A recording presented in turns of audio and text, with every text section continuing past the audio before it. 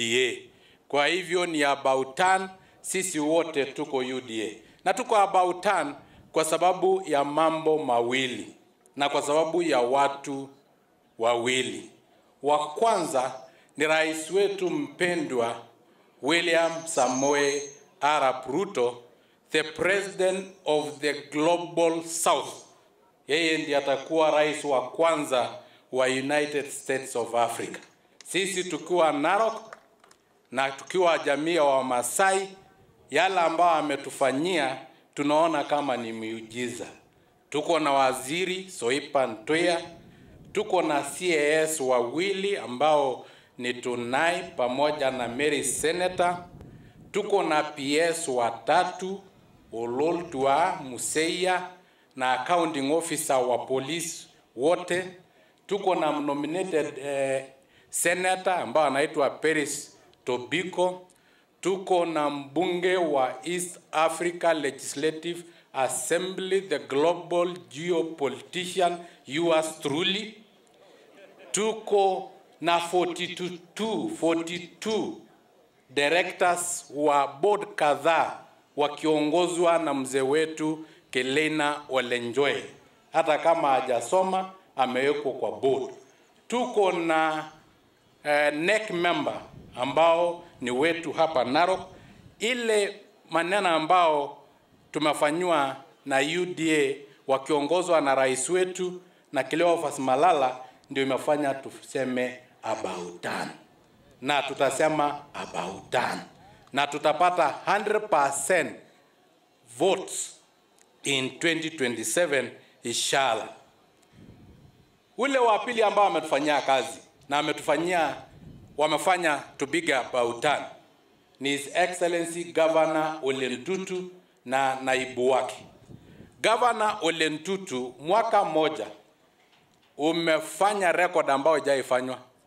Unajua, ukiwa mbunge, watu walisema labda ulikuwa namba samba Kenya mzima kwa kazi ya wabunge kuwa na, mbunge wa Narok West, wakafikiri hiyo ni by default.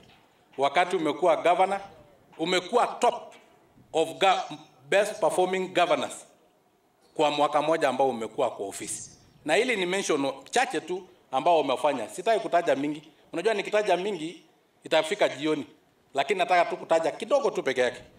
Ya kwanza, governor umenunua equipments ya kutengeneza mabarabara bulldozers, earth movers ya 1.4 billion. Itakuwa launch mwisho hii mwezi, itaingia kwanza kufuruga Narok North ili barabara zote hata ile ya ng'ombe kwenda mtoni itatengenezwa ili tukue sawasawa sawa. Na hata kabla uja launch hizo bulldozers, already barabara 1345 kilometers have been gravel, maram and drainage done.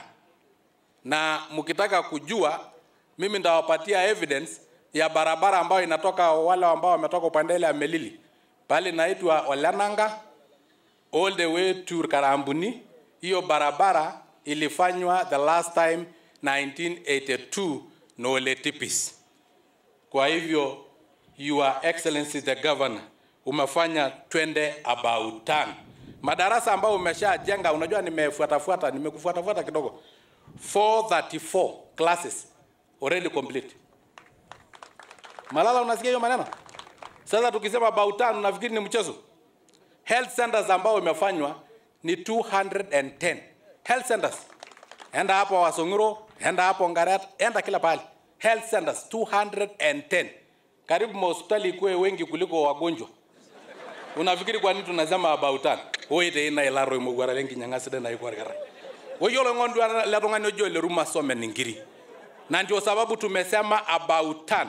Wala ambao wametoka uh, head office wakiongozwa na chief executive officer hii ambayo nimeongea kwa Kimasai nimesema about done kwa Kimasai. Si umesikia? Eh, ama utafute translation.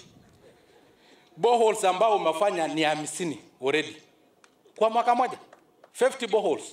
Kwa hivyo inamaanisha kwa miaka kumi 500 boreholes. Ka, where where will we not get water?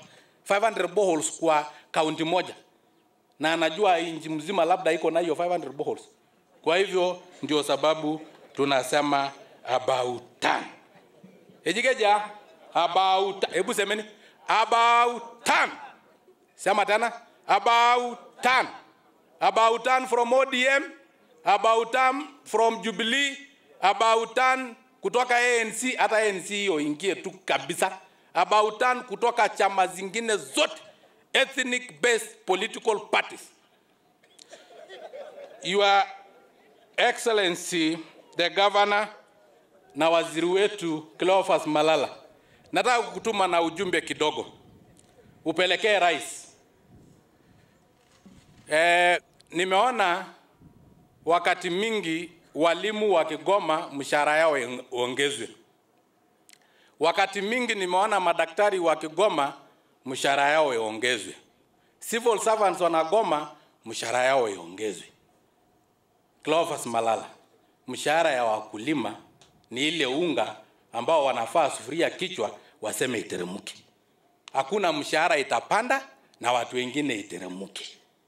Mimi mahindi napanda, nanua certified seed, naweka mbolea, napalilia, nachunga kutoka kwa ndovu, alafu wewe unafaa sufuria kichwa ati unga iteremke, lakini mshahara yako ipande.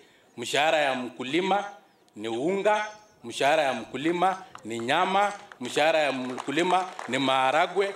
Kuanzia leo mkigoma mshahara yenyu ipande, na sisi tunagoma mahindi ipande, nyama ya ng'ombe ipande, maharagwe ipande, na sisi ndio wakulima ndio wengi, na maziwa ipu, kwanza hiyo iende kabisa kwa sababu imagine hii nchi ya Kenya iko na sarakasi bwana ya Bunwasi. Unasikia ati maji ni expensive kuliko maziwa, na ng'ombe inakunywa hiyo maji ndio itengeneze maziwa, alafu wewe unauza hiyo maji expensive kuliko maziwa. Alafu unasikia ati gunia mahindi juzi imeenda elfu sita. Watu wanavaa sufuria kwa kichwa kwenda ku demonstrate ati teremke, na bei ya samaki ni elfu moja na samaki mia ndio inajaa gunia. Kwa hivyo gunia ya samaki ni elfu mia. Na samaki hujaweka mbolea, samaki hujapalilia, samaki hujanunua certified seed, samaki hujachunga, samaki hujapatia chumvi, samaki hujapatia dawa ya minyoo, alafu unakuja unaenda kurokota tu huko mtoni na karaya, alafu unakuja kutuuzia expensive, alafu unavaa sufuria ati ati mahindi iteremke. Mahindi ya nani iteremke? This time round itapanda. Asanteni sana na Mungu awabariki, kwa sababu sitaki kuchukua muda mrefu. Wacha nimuite mbumbu.